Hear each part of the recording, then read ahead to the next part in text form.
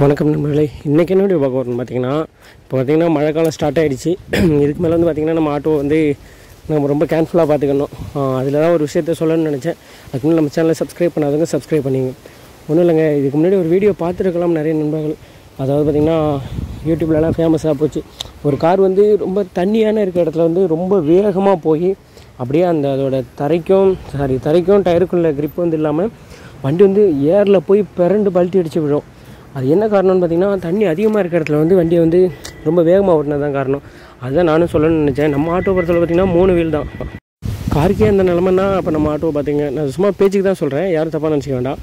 அதனால சொல்கிறேன் தண்ணி கொஞ்சமாக கிடந்தாலும் சரி. அதுமாரி பார்த்திங்கன்னா பள்ளம் அதாவது மழை காலத்தில் வந்து தண்ணி தேங்கி இருக்கிற இடத்துல வந்து ரொம்ப ஸ்லோவாக வைப்பாங்க. ஏன்னா எந்த இடத்துல பள்ளம் எங்கே எது இருக்குன்னே தெரியாது. நம்ம வழக்கமாக போகிற ரோடு அப்படின்னா கூட தண்ணி அதிகமாக இருந்துச்சுன்னா அதில் வண்டியை விடாதீங்க வேகமாக போகாதீங்க. ஸ்லோவாக விடலாம் ஒன்றும் தப்பு கிடையாது. அதுமாதிரி பார்த்திங்கன்னா இந்த புழுதி மணலாக இருக்குது இப்போ எங்கள் ஊர்லாம் பார்த்திங்கன்னா கொஞ்சம் புழுதி மணலாக இருக்கும். அதுலலாம் பார்த்திங்கன்னா ஒரு வீலெல்லாம் விட்டிங்கன்னா வண்டி அப்படியே அப்செட் ஆகிடும் அதுமாரி எங்கள் ஊரில் ஒரு ஒரு ஆட்டோ நண்பர் நடந்திருக்கு.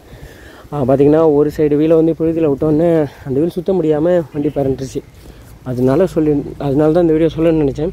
தண்ணியாக இருக்கும்போதும் சரி ஒரு சைடில் தண்ணி ஒரு வீலை வந்து வேகமாக விட்டுறாதீங்க. கண்டிப்பாக வண்டி ஸ்கிட் ஆகிடும் ஸ்கிட் ஆகி வண்டி அப்செட் ஆகிறதுக்கு நிறைய சான்ஸ் இருக்குது அதுமாரி எங்கே தண்ணி கிடந்தாலும் சரி அது வந்து தண்ணியை வந்து தண்ணியை விட்டுட்டு நம்ம ஒதுங்கி போகிறது நல்லது.